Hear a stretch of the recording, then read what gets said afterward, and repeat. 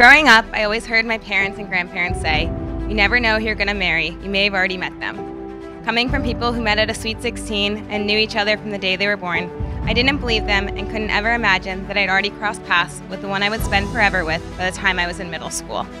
I was definitely wrong, and they were definitely right, because here I am today, standing with my seventh grade boyfriend, getting married.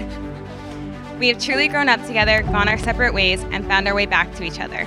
Our time in Atlanta may have been short lived, but I'm forever grateful that it brought me to you.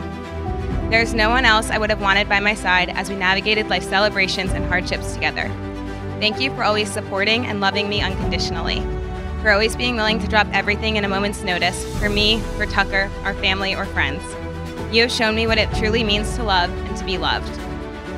As we start this next chapter in our lives together, I promise to be there for you through the ups and the downs, the good and the bad. I promise to be your biggest supporter and your loudest cheerleader. I promise to love you every day and stand by your side no, no matter what life throws at us. I'm so lucky to be marrying you. I love you.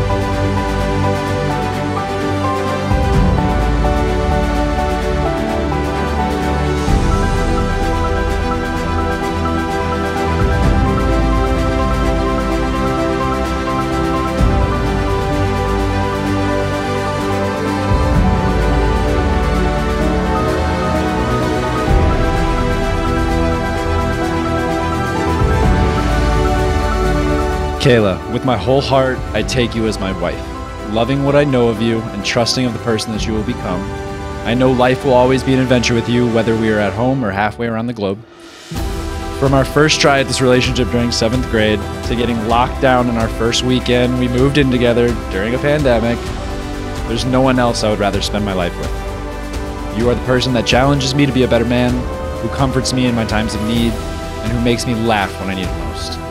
I promise to be the positive light in your life when times seem darkest, to be the level head during times of stress, to take as many phone calls as I can to relieve your parents, and most importantly, to love you unconditionally for the rest of our lives.